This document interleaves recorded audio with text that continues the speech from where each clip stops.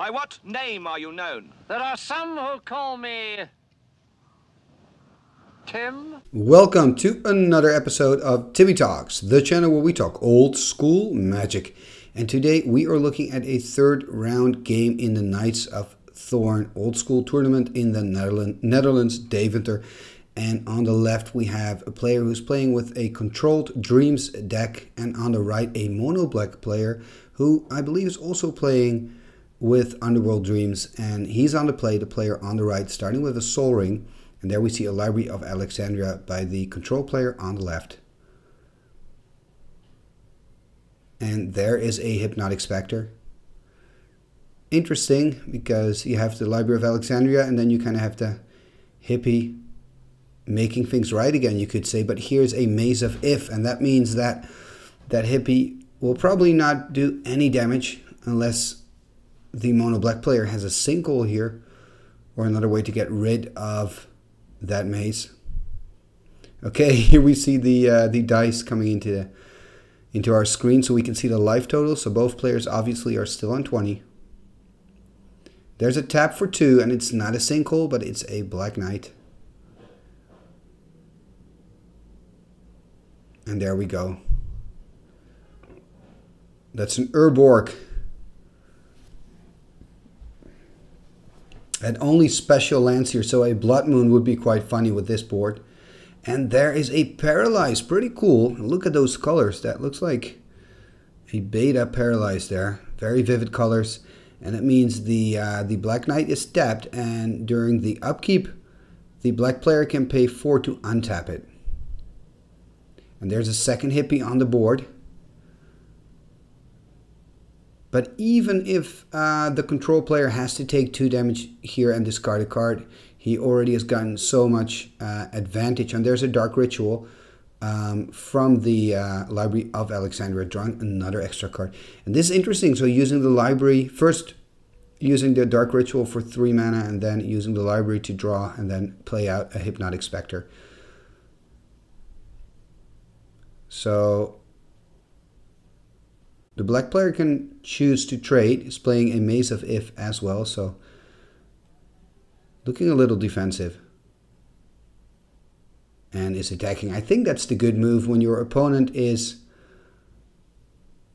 on the Library of Alexandria plan. At least you want to put some pressure on. And this is nice. This is the Cuombajj Witches. A card from the Arabian Nights. It's a 1-3 creature and you can tap it to deal one damage to any target and then your opponent can choose to do one damage back to any target. Pretty cool card that doesn't see a lot of play. So interesting tech here from the mono black player. And there comes a mind twist and uh, yuck. And it's hard to see what he's discarding, but I see Cuombajj Witches and two Underworld Dreams. So the mono black player is also playing with Underworld Dreams. Usually um, is a pretty nice combination uh, when you're having that early aggression. Um, and then you're having uh, the the added damage from Underworld Dreams kind of to finish your opponent. So it's, it's definitely diff- a different uh, tactic than the control player who more wants to control the board. And we kind of saw an, uh, a big attack there from the uh, mono black player. Unfortunately, he was only able to do uh, only a few points of damage here. And another paralyze. Wow. And I mean, now he has to choose every turn. Am I going to untap something or am I going to invest my mana in something else? And he has to make that decision in his upkeep, so before his draw step. And that makes it extra difficult for him to make a decision. And that mind twist was just devastating because now the Dreams deck has to control it once and can slowly start building up the board presence and the control elements. We see a Sapphire here, and I believe that's a Ancestral Recall that he's played, and that's why he's drawing three cards. It's, again, it's not visible on screen. So that's a, a bit of a pity here. And look at that field. It's just all his creatures are paralyzed, or at least two of them. Only having the witches to ping some damage. Attacking nonetheless with the Mishra's Factory. and the Cuombajj Witch is able, and he's able to do one measly point of damage here. And another paralyzed. Okay, this is this is ridiculous here. We got three paralyze. And you can kind of see how powerful paralyze can be, or maybe I should say annoying. And this is a very nice combo, playing the Royal Assassin. As we all know, Royal Assassin uh, can assassinate creatures that are tapped. So that means starting next turn, he can start to assassinate. But here we see the Cuombajj Witches in action. And that means one damage to the Royal Assassin, and he can now deal one damage to any target. And it's probably going to be on him, of course, on the black player. So he's getting a ping back here, but it was well worth that one damage. So that Cuombajj Witches kind of saved him, but then again, he still has card advantage and he still has control of the game, it seems. And he's playing a Brain Geyser. Again, it's difficult to see, but he's drawing four cards here with a Brain Geyser. And blue, blue just gives you that ability to draw cards in old school. Having that Ancestral Recall and Brain Geyser, extremely powerful cards. And with that Brain Geyser, he is activating his uh, activated his Library of Alexandria again. So he's now drawing extra cards again. And I think when you're the mono black player, you kind of know that it's over, but you're not giving up because you know it's not completely over. And here we see an Underworld Dre uh, Dreams hitting the board. So that's the enchantment from Legends that so many players play these days. And when you draw, when your opponent draws a card, he deals uh, a damage. And this is one of these nice one-sided enchantments. And what I mean by that is that you, as the controller of the enchantment, don't have the effect played on you. So you don't get the damage yourself. It's only your opponent who gets the damage for each card that he or she draws. And this is a great position to be in here, having your library, drawing extra, having your um, Underworld Dreams there on the field, and now even a Disrupting Scepter, so you're kind of forcing your opponent's hand as well. And activating, it seems, activating that Disrupting Scepter straight away, although I don't see a tap, but the opponent there is discarding a card. Yeah, now he taps the Disrupting Scepter, and you, it's a Su-Chi by the looks of it, so and that's not great. Now this is interesting because the Meekstone doesn't necessarily have great uh, synergy with the Paralyze because Paralyze says pay 4 and you can untap it and Meekstone says when a creature's power is greater than 2 it doesn't untap. Um, so that's a funny combination. So for instance if I would play a Paralyze on the Su-Chi that you just discarded, the Su-Chi would tap because of the Paralyze but I could un can untap it again in the upkeep because of the Paralyze's ability where I can pay 4. But I, I mean, I like this tactic of playing Paralyzes early game because they're just one black to kind of stop um, this early aggression. And then in the in the late game, play a Meekstone. And I wonder with how many, for instance, Maze of Iths he plays in this deck. And another Underworld Dream. So that means that the black player is going to take two damage just for one measly card. And now there's even, he even manages to take away the Maze of Iths. So that means that you can probably start getting some damage in with the Mishra's Factory. So taking 2 damage here, going down to 14. And this is so difficult because you are not going to untap any of your creatures because you're like, I want to do something with the card that I draw. But you have to play out the card that you draw. And there is a sinkhole, so that sinkhole would have been very useful at the start of the game. And now it doesn't look so special anymore.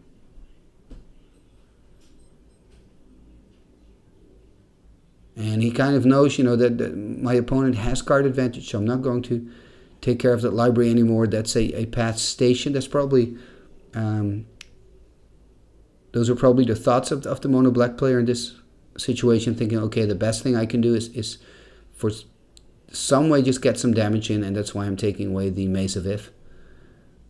And there's the first attack here by the Mishra's Factory, dealing 3 damage because of the other one pumping it. And then also look three Underworld Dreams on the board, so that means he's going to take a lot of damage. And yeah, I think this game is pretty much over. What could be an out here? I mean, another another reason that paralyzes are quite nice is they work really well against uh, a card like balance, for instance, because when you're dominant on the board, it's not like you've uh, your opponent still has a lot of creatures. So if your opponent would play a balance, you don't lose any creatures because the creatures are still on the board. And here we see the mono black player giving back the uh, paralyzes and saying, okay, man, you've got this one. And this was quite an interesting first game to look at. I guess that, that control from the Underworld Dreams player came very slowly. And for a long time, I had the feeling that maybe the mono black player could play underneath all the control elements with aggression, but it didn't work. There were just too many uh, control cards there on the board, especially those paralyzes, I believe, really, really killed it for the mono black player. So they're going to look at their sideboards, and we are going to come back when they start at game number two. Game number two between Control Dreams and Aggro Black Mono Black, and the player on the right has lost the first game, so he gets to be on the play.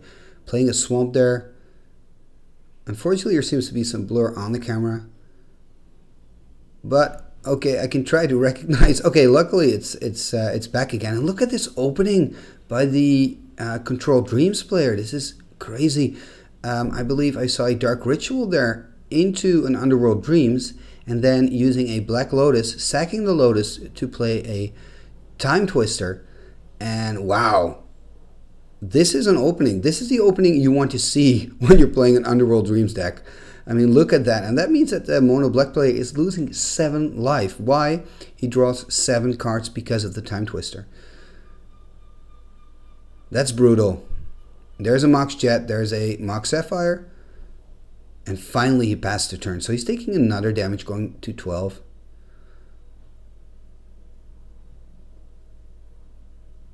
And tapping two there, playing a sinkhole. Not too bad.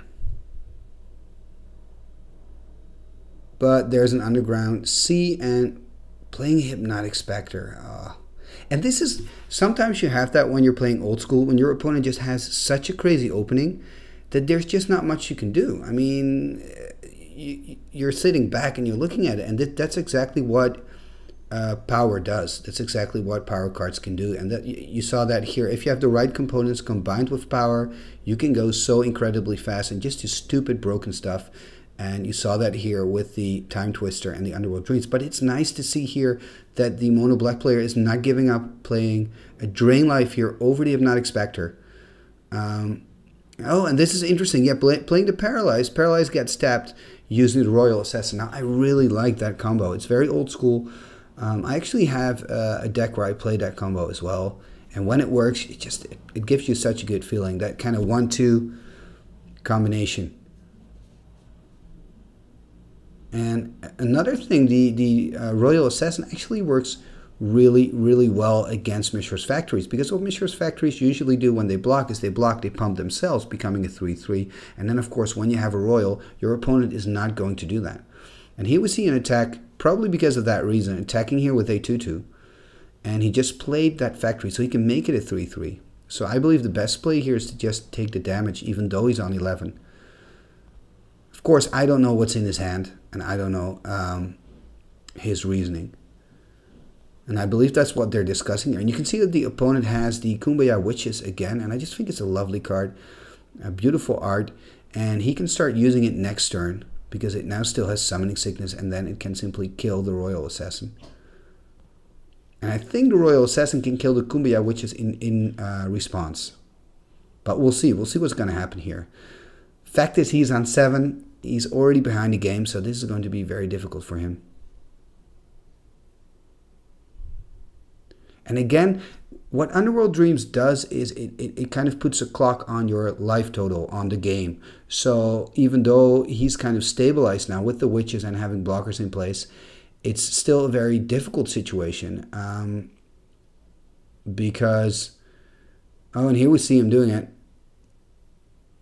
And there we go. So he's activating the Cuombajj Witches. In response, he's using the Royal Assassin before the damage results on the Royal, so both cards are gone. I think this is a good move because now he can activate his Mishra's Factory. That does mean a trade, but I think that's probably the best decision here. And he's on he's on seven. And what I wanted to say is with the Underworld Dreams, you have a clock. So even though you kind of stabilize the board, you still know, okay, eventually I'm going to die. This is an interesting decision. Or are they going to, to change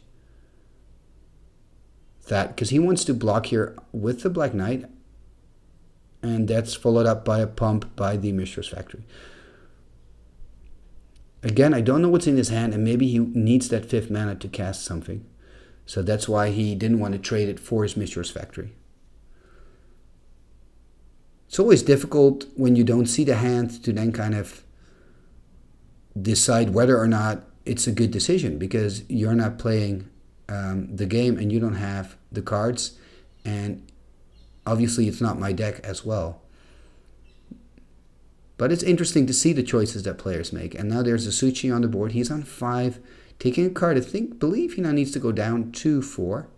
And this is actually quite nice, this disc. Um, it at least gets rid of the Underworld Dreams. But, I mean, look at the Control Dreams um, board state here. There are so many uh, Mishra's factories.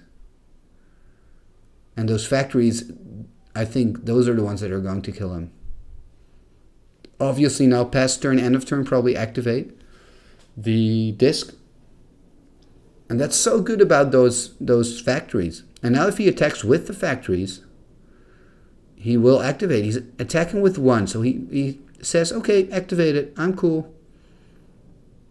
And that means that the Moxen go and the animated Mishra's factory goes and also the Underworld Dreams goes. So he's on 4 life.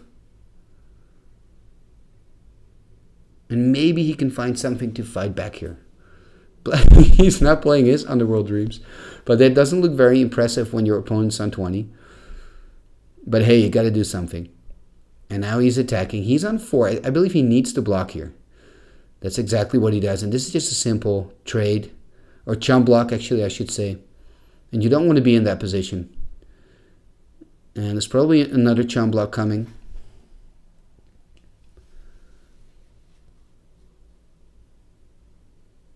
And what the opponent actually um, can do as well in this case is say, hey, I'm going to attack with, oh no, he doesn't have enough mana. What I want to say is attack with two Mishra's Factories, and whichever he blocks, take out of combat with the Maze of Ith.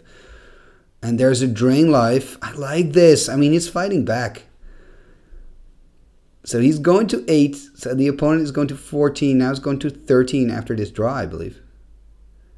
Maybe I'm wrong. Maybe he already took the damage. Hitting him for 4. Oh yeah, there you go. And pumping it. So he takes 5 damage in total. And there's another Mishra's Factory.